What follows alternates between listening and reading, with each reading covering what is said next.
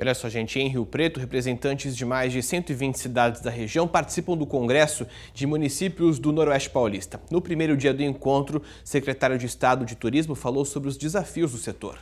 Um a um, prefeitos e prefeitos eleitos do Noroeste Paulista foram atendidos pelo secretário de Estado de Turismo. Ele tirou dúvidas, orientou e pôde sentir bem de perto qual a situação do turismo na região e a partir de 2017 serão mais 140 municípios de interesse turístico que passarão a receber em média cada um em torno de 500 mil reais.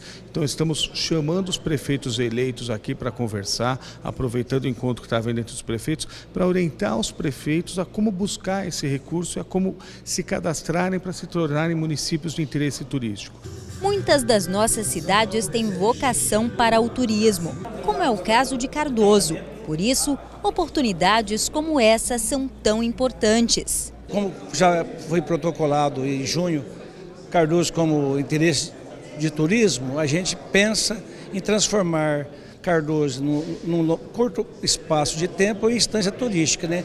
Outros municípios querem aproveitar melhor o que a natureza oferece nos seus territórios e buscam recursos e caminhos para se tornarem também uma cidade turística. Nós temos uma área lá que é uma prainha municipal e essa área ela está bastante abandonada. Então a tentativa de a gente levantar recurso para recuperá-la. Mas um fantasma tem incomodado a todos. O período não é dos melhores. O momento é de recessão.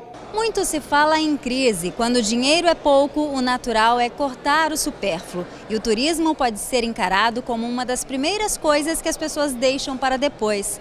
Mas se engana quem pensa assim.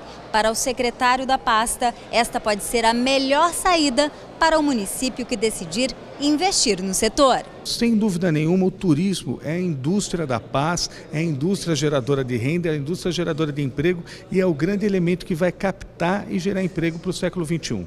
É assim que pensa a maioria dos prefeitos eleitos da região, que buscam no Congresso o melhor preparo para enfrentar os desafios que estão por vir e querem, através do turismo, atrair pessoas, gerar renda e fazer o país voltar a crescer. O turista vindo para o nosso município, ele traz investimento, comprando no, no comércio local, como nos comércios das, das cidades que pertencem ao nosso município.